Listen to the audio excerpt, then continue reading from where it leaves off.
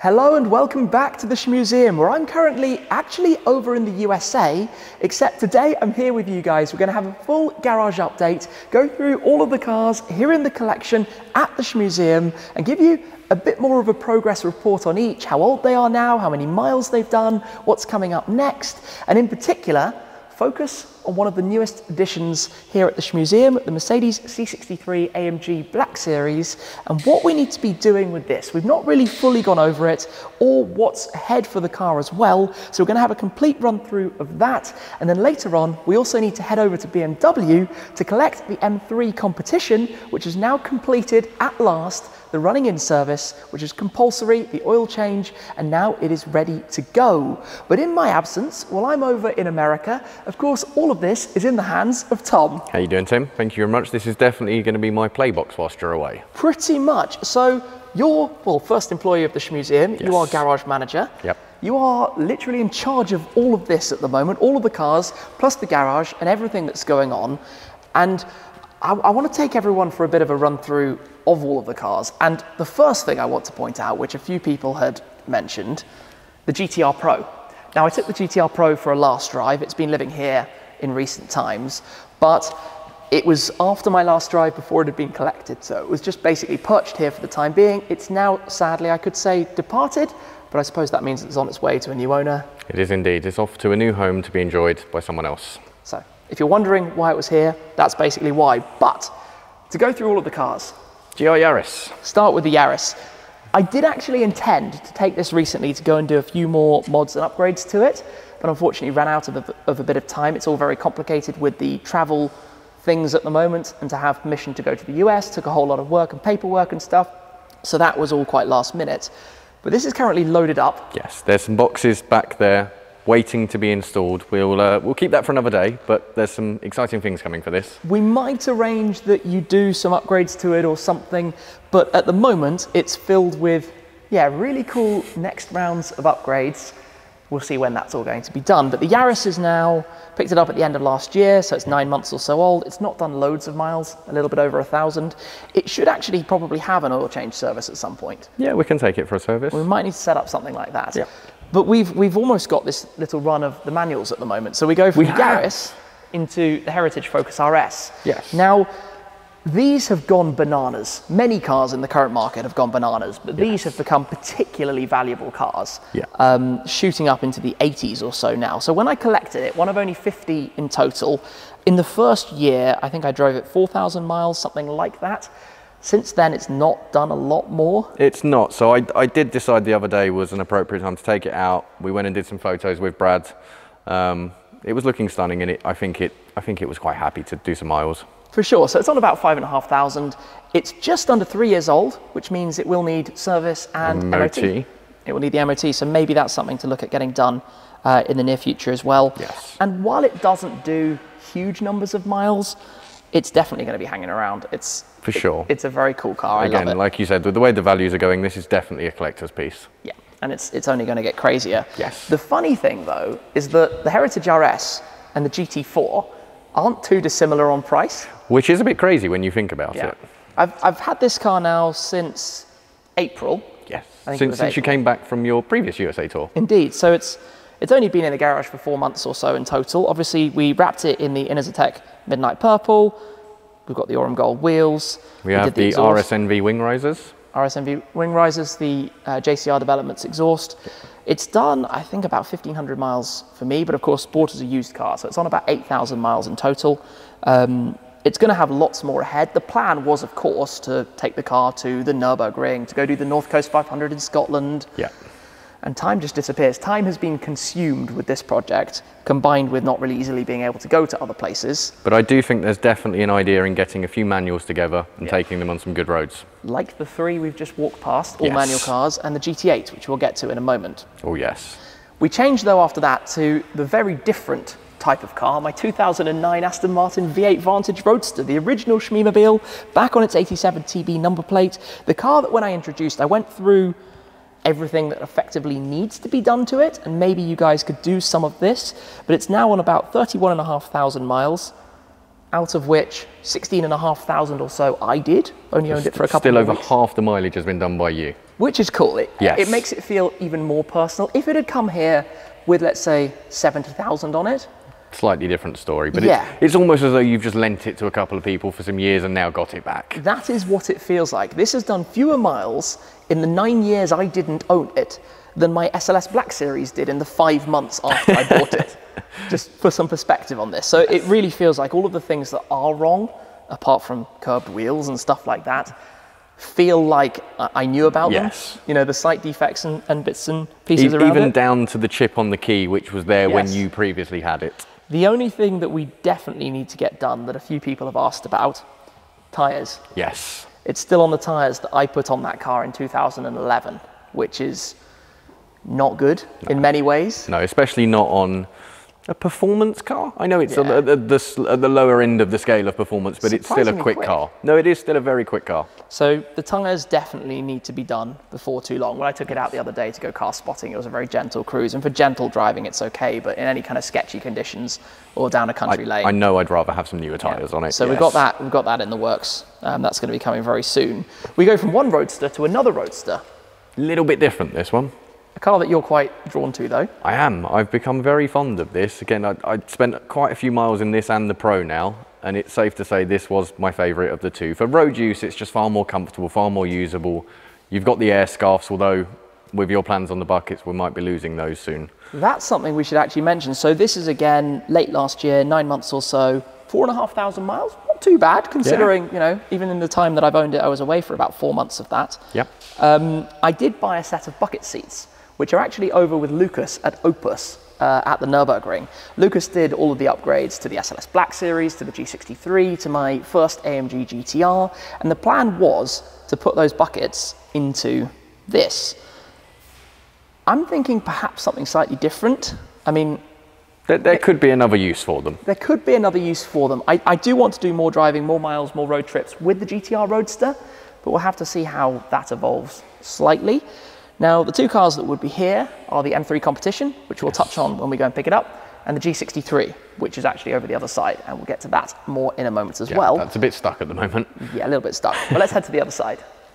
On to the GT8, Yes. four and a half years old, ten and a half thousand miles. It's done a few. Yeah, and we're doing a few more recently, particularly because you're rather falling for it. Yes, um, I know you're not the most happy about the amount of miles I'm doing in this lately, but it's. I, I'm going to Tesco. I'll take the Aston. It, it's any excuse to get behind the wheel. It's just such a phenomenal experience that I, I just want more. The thing with this car is most of my driving enthusiast friends who have got behind the wheel, you know, yourself, myself, Benzine Ben, Joe Achilles, when they've driven this car, it's literally their favorite thing in the world because it's technically challenging, but when you get it right, it is so rewarding. That's it. It, de- it demands you drive it correctly, and if Yeah. you don't, it tells you. And when you do, the satisfaction. There's just. I, I don't know I've ever felt anything like it in, in any other car before. And it's the end of the era. The naturally aspirated, heavy feel, manual gearbox, Yeah, hydraulic steering. proper car. It's yes, I absolutely love it. So I wouldn't be surprised if you end up taking that out again before I get back. Once or twice. this maybe not though. No, this one I will leave for you. So the Senna, the Senna is two and a half years old now, just over 3,000 miles. Obviously, it spent six months out of action uh, back at the time. For these kind of cars, that's actually decent mileage. It's not a lot, I know. It sounds like a tiny number, but it's been transported around. And when it sits here, it's actually sitting in race mode. So it's not the easiest thing to use because every time you get in, you've got to press the button, pop it back in race mode, wait for the suspension. To sort itself out. And whenever you seem to move it, we end up with rubber on the floor, which we still haven't managed to clean off. guilty. It just lurches around a bit. So it's it's a car you really need to be engaged in to drive. You, you, you need to think about it. Here's another one that I'll be leaving alone because I don't fit in this one. Ford um, GT, exactly the same age, surprise, surprise, having been collected the day before the Senna. Yes, um, 24 hours apart. December 2018. The GT now sits just under 7,000 miles. Of course, about 3,000 of those were around the USA. It did have this service, which I confused everyone about. When it had its service, and the Ford team are actually brilliant in the way they look after this car. Out of every car here, these guys are amazing every time with, with this. It had a major, major, major overhaul for the second year. They went through everything for me, looked at the car uh, in full detail. One of the things that was changed was the brake pads. which we mistakenly mispri- mispriced effectively. So it wasn't as expensive as I thought it might have. Quite a shock initially, and then Yes. far better and then, afterwards. And then yes. worked out, you know, I paid the invoice and then we all looked into it and we were like, ah, that's what's happened. Yeah. Again, coming up to, both of these actually coming up to three years old. Yeah. They'll need their MOTs. They'll Yeah. need, There's there's quite a few things. I think the Focus as well is going to need a, Yeah. an MOT shortly on it as well, so we'll be getting those done. mad, time is flying. Yes. SLS is a year and a half old. I know. And this is about to be really confusing. I've just realized because by this point that's gone. That's We'll not here anymore. We'll get to that. the, the SLS, I bought it on about 6,000 miles. It's now on, I think, 18,000 miles, um, despite having been out of action for quite so long. I've had it obviously for a year and a half, but it's a 2013 model, early 2014 registration. So it's an, you know, it's, it's an older car now, one of the older cars in the collection. And you've just had your first outing. I have, and it was a uh, phenomenal experience. I mean, that engine, that noise, the long bonnet out in front of you. uh, There, there's nothing like this. There really isn't, and it's such a. I, I believe it's such a timeless design that will Yeah. that will just age so so well over time. and I'm still over the moon with my Mystic Blue. The one thing I do want to do though is to effectively redo the wheels. One of the disadvantages of doing the wheels in such a bright color, and it's the same on the 675 LT Spider, is that any stone chips that they get, and if you're running with sport tires, you're going to get stone chips on your Yes. wheels after after that number of miles on tracks down the autobahn at fast speeds. It shows up so much more. Yeah. Even down to dirt, it's just Yeah. it's so much harder to hide everything. You, can't clean them. So the easiest way is to, to redo it. So I think at some point soon we will get those redone as well to keep that in tip-top shape. GT Black Series has obviously just departed. I've just dropped it off to have the colour change to fit more in with the other cars here in the garage after about is it 700 or so miles that it's got on it. Wanted to do a few to make sure all is well. Um, there's an interesting one with the colours because of different regions and options, but here in right hand drive UK, we could only have a couple of different colours. It looks cool. It does look cool, and I think it, it's definitely got the Batman look and the aggression. But what it does do is it hides all of the things like the gurney flaps, the carbon in Yeah. the bonnet. There's a lot of people that actually haven't even noticed the carbon on the bonnet until No. they've seen it in person. You don't realise that on each side, that whole area is exposed carbon fibre because you just can't see it against the black. But And against, the yellow, that's going to pop so much more. it's going to look really, really nice. But then completing the Black Series trio, the 2012 C63 Black Series picked Yes. up only a couple of days ago, Yes, a couple of weeks ago, time's flying. fairly recent addition. and there's a lot we need to do with it. So There is. let's let's come back to that. We've driven a couple of hundred miles in it. Yeah. Duracell Bunny. Duracell Bunny, as I've affectionately named it, or I say affectionately. I'm not the biggest fan of EVs, it's fair to say. Um, it, look, it's a phenomenal car. It drives great. Still not sure on your Rolls Royce esque quotes, but it is a lovely, comfortable, quiet car to drive and very, very fast. But It's very fast. it's that lack of emotion. There's no noise, there's no engine. It's It, it is kind I'm of. not there yet. There is this one-trick pony thing of when you've done a launch control, you've done it. You've had that feeling of like the blood rushing as your eyeballs. and in fairness, I've done head. the launch control against the center and That's true. managed to beat it off the line at least. That's true, but it works. And obviously for me, I'm heavily using it as a daily driver. Again, I've had it since late last year. It's about 3,000 miles now. I know that doesn't sound like a lot, but it's my 10 mile to and from car. It's not a big road trip car, so But it's become so much easier for you to use with the Yes. installation of the C-Tech charger. It's now it, all of the woes that were there previously just just really aren't, except on a longer journey, of course. And then it's it is what it is. Having a charger is game changing. So that's one of the dailies. The other daily is slightly out of action right now. a little bit stuck with Louis still.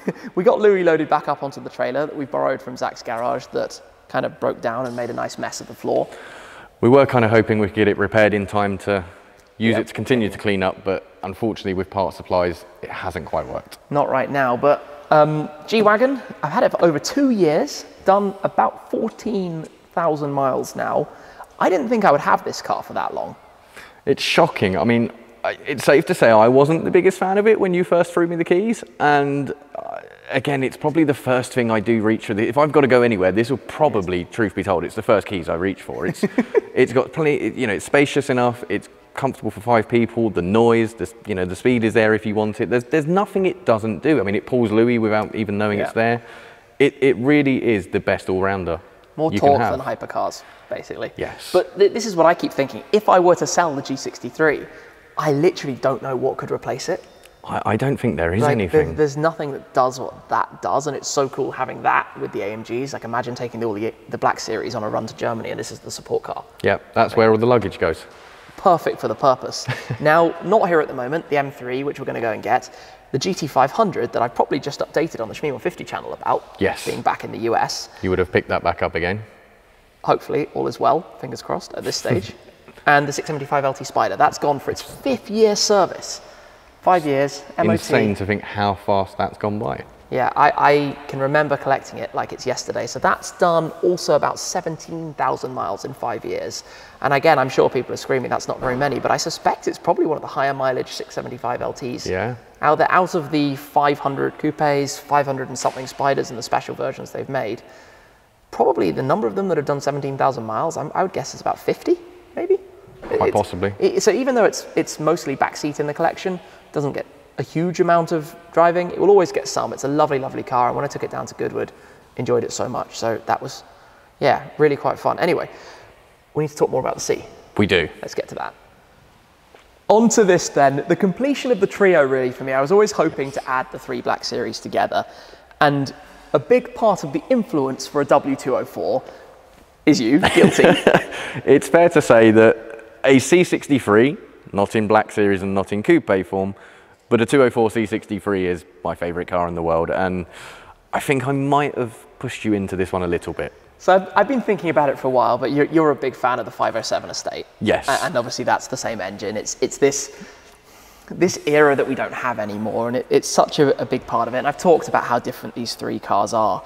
But I think to focus on this specifically, I said there were a few things we want to do with it. And, you know, obviously we're now on a car that's nine years old. It's a 2012. We've done 500 miles on it, but the car's done just over 18,000.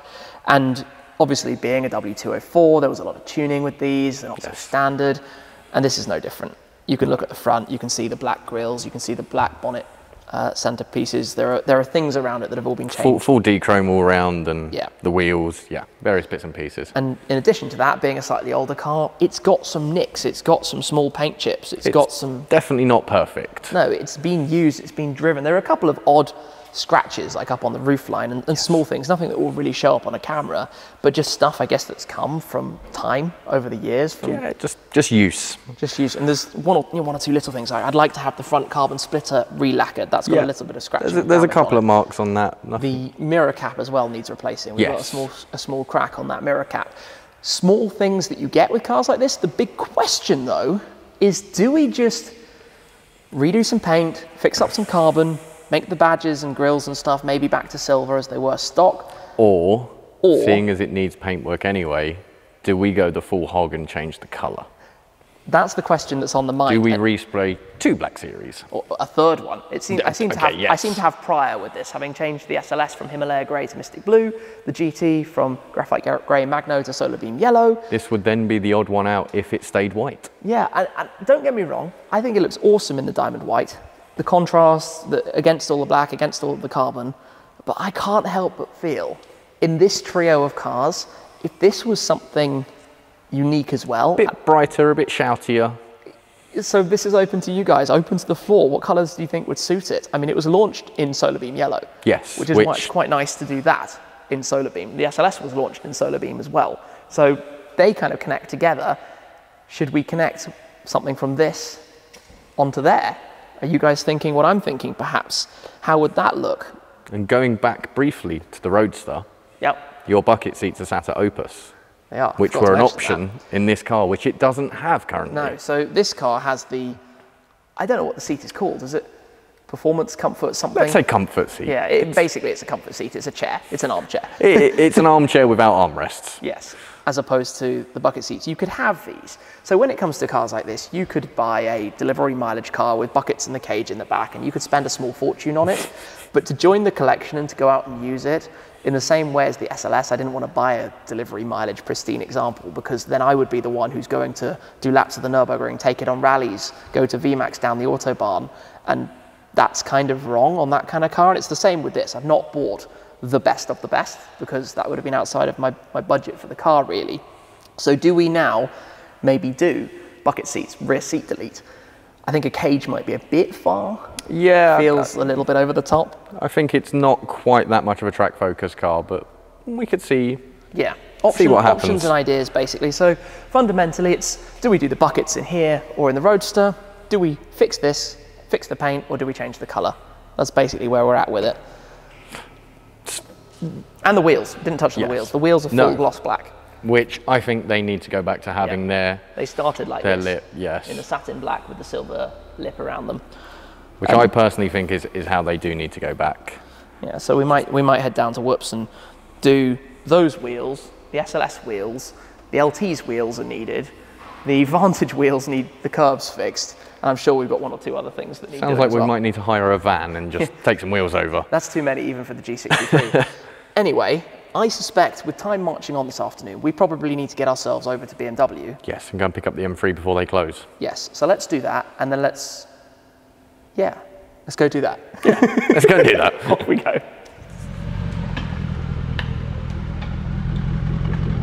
The one thing I've noticed in the back of this car is how much louder it is being that little bit closer to the exhaust. Makes a good noise, this. This is Tom's first time driving this car. It is. How is it? Loud. and uh, it does like to move around a little bit. It's uh, In the wet, it's a handful. It's definitely getting a little bit of a wiggle. I noticed that when we pulled out of the last junction. Part of the fun, right? Definitely. Well, the M3's back. It's had its running in service, a couple of other little things. I'm going to take that back now to the garage, drive together, and I guess that means for me being able to hear the Black Series. All right, we've got two cars together. Bit of a fun convoy actually. This 510 horsepower, that 517. Oh, got on. I'm, I'm not even going to try, even though I can now rev this car a little bit more when it's warm. Obviously, it's cold right now, but he's going to win that battle 100 times out of 100. I give up. Right, you might as well take the camera and see. It's going to sound way better. Let's go home. I tell you what, there's no point in trying to make any noise with this thing. That is significantly louder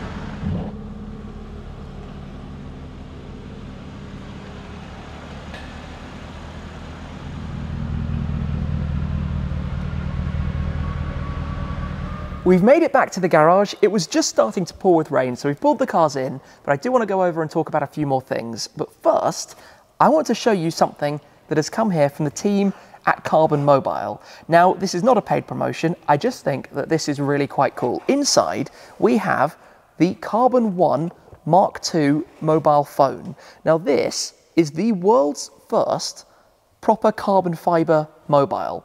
Not Kevlar, like most of these things are, but quite literally a carbon fiber monocoque shell around the back, just like you find in the cars like the McLaren Senna. Genuine carbon fiber, and as a result, it weighs next to nothing. It is about the same as a BMW M car key, significantly lighter than any other phone. Now, I've been testing it out and playing around with it a little bit. Of course, you have usual functionality, nice screen, it illuminates at the back as well. I think the camera needs a little bit of work, but this is really a proof of concept, the first example of a full carbon fiber phone. And I pretty much wanted to share it because, of course, I love carbon fiber. We have it on pretty much all of the cars actually in the collection. And that is quite a nice thing that I'm testing and playing around with at the moment. So let's head back over. Let's have an update then about the M3. I've owned it since April as well as the GT4, so that's now done 1,300 miles in about four months. And yes, I'm slightly embarrassed by that. It's not a lot considering some of the others. So now that it's had the oil change, it is time to start enjoying it a little bit more. It's done 1,300 miles, a bit of daily driving, a bit of back and forth up the motorways, that kind of thing. But even having these two side by side, we've got about the same power between them. They're both rear wheel drive. In the UK, you can, about from now, I think, order the X Drive version of the M3 and the M4, but initially it was the rear wheel drive only. They're all auto here. We can't have the manuals over here. But obviously, with all of the cars, we have quite a mix of different engines, gearboxes, configurations, layouts, and that's half the fun. And I want to do more effectively driving one back to back with another to get a feel for what they're all all about basically. But these two, both new arrivals in the garage, you could argue. And I hope this has been a quite interesting update as to all of the Shmeemobiles, as to everything that's here at the moment. Obviously the GT500 in the US, but all of the UK side of things. In the future, we've got the Huracán STO on the horizon for later this year. We've got the Ferrari SF90 next year. We've got the Lotus Emira next year as well, and a couple of others potentially to join at some point. Some perhaps more unusual, unexpected things to come to the garage. Now that I have the space, you know, the ability to park up more cars and have more room all around makes it a little bit interesting in terms of what can join the Shmeemobiles as well. For now though, I think that's it for our update. Great to have the M3 officially run in and ready to go. We'll have some more fun with it in the near future.